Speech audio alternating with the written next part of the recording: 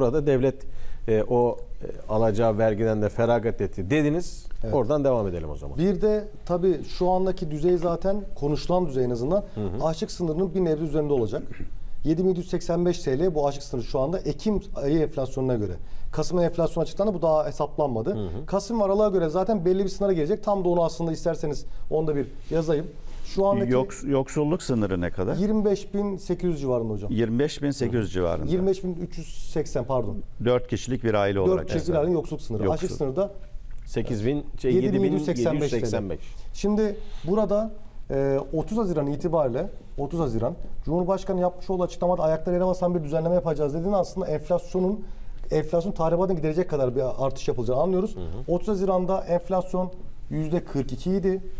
Yapılan zam asgari ücrete asgari ücrete yüzde 30'du. Burada aslında enflasyon hesabı yaparsak basit bir mantıkla yüzde 12'lik bir almadığı bir fark var. Yani önceden gelen düzeltmenin farkı bu aslında. Alınmayan bir fark.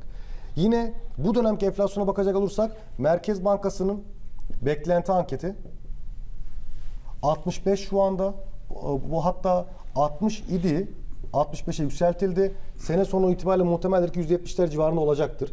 Biz yine hesaplamamızı yine %70'ler civarında yapıyoruz. Şimdi %42 ile 70 arasındaki çünkü oluşan 30 Haziran'da %42 idi.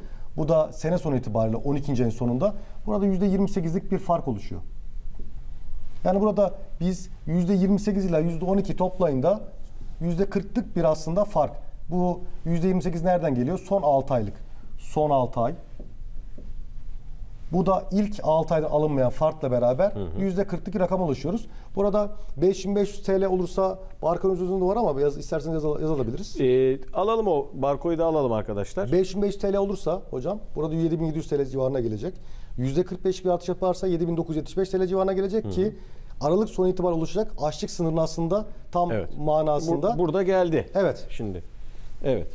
Buradaki rakam hangisini şimdi baz alacağız? Yüzde Yüz- 40 7700. 7700. Yüzde 45 de burada 7975 TL yapar.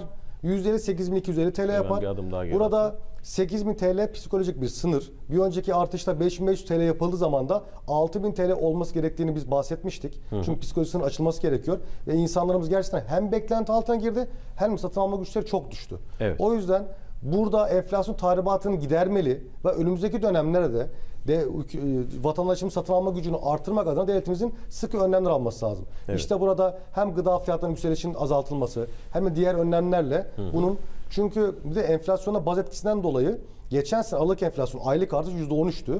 Bu dönemlerde işte Kasım ayınki %2.88 geldi ki Aralık'ta %3'ler civarına geleceği öngörülüyor son dönemde. Şimdi şunu şunu soracağım. Şu anda o hesaba göre yani yaptığınız o yüzde kırklık bir e, fark oldu ya. en az. En az. Yani şu anda en az bir kere yüzde kırk cepte.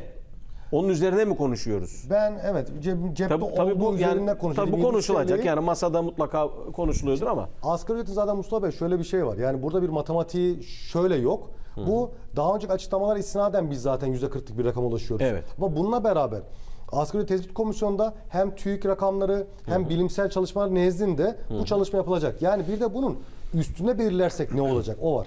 Şimdi %80, 90, %100'lük rakamlar hayatın olan akışına aykırı. Bunlar da ücret fiyat sarmalına sokarak bu piyasayı ücretlerin artması fiyattan artması, ücretlerin artması fiyattan artması şeklinde enflasyon tetikleyici bir unsur bunlar. Yani bu rakamlar aslında %80, 90 ve %100'leri temsil telaffuz etmek bile aslında manipülasyon, algı. O yüzden bu rakamlar olursa işverenler zaten bunun altından kalkamaz. Bunlar zaten net ücret. Bunun üzerine bir de brütleri var. 5500 TL'nin şu anda brütü 6471 TL. İşverene maliyeti 7143 lira.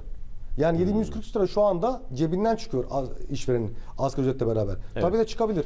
Ama burada tabii işverenin diğer teşviklerle biraz daha sübvanse edilmesi gerekiyor. Aslında ben burada Mustafa'cığım Buyurun hocam. Ben şöyle geçeyim. e, yani halkın psikolojisinin böyle zamlarla e, meşgul olmadığını tam tersine sokakta, pazarda, çarşıdaki fiyatlarla psikolojinin bozuk olduğunu biliyorum. Halkın beklentisi pazardaki, çarşıdaki fiyatın düşmesi. evet. E, Şöyle bir e, yavaş yavaş bir inanma başladı. Yani şöyle deniyor genelde. İşte geçen ay 25 lira olan bir ürün pazarda 15'e düştü. Bu bir ümit veriyor. Bu fiyatların düşmesi buradaki zamlardan çok daha kıymetlidir. Değil mi? Doğru. Ya bu Hocamız zam e, şöyle halk eskiden beri bir atasözü haline gelmiş e, söylenen bir şey vardır zamlarla ilgili biliyorsunuz. E, kaşıkla verip kepçeyle almak gibi.